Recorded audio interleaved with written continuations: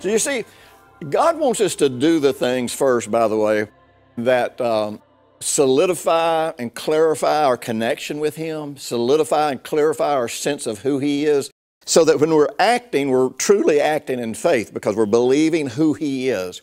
And, and therefore, uh, I, well, let me give you a good example. You know, Jesus said, you know, you might be standing at the altar getting ready to give an offering, and you remember you've got something you need to settle with a brother. Leave your offering at the altar and go settle this first before you give your offering.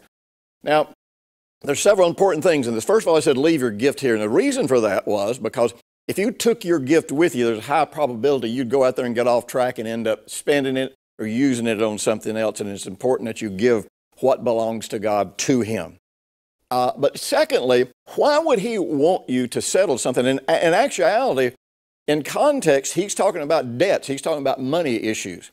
And the reason you want to settle these kinds of things, where maybe greed, dishonesty, or even theft is really working in your heart because you don't want to pay the money that you owe to somebody, you have to understand how it's going to affect your heart. You say, Well, I'm going to give over here and trust God to, to multiply this. Well, let me tell you something. God can only allow or, or bring about what you believe and facilitate in your heart. He's not, he, can't, he can't violate the beliefs of your heart. If you're operating in greed and theft over here with a brother, then the real truth is you have violated the primary factor that contributes to prosperity without trouble, and that is generosity.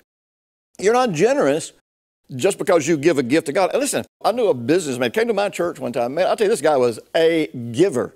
But I'm telling you, he was a con man. I'm telling you, he beat people everywhere out of money. He couldn't abide in righteousness, peace, and joy because he couldn't have peace for all the people he'd beaten out of money that were always suing him and trying to get their money back from him. But yet he was generous with God in his religious mind. Giving kind of washed away all of this stuff over here.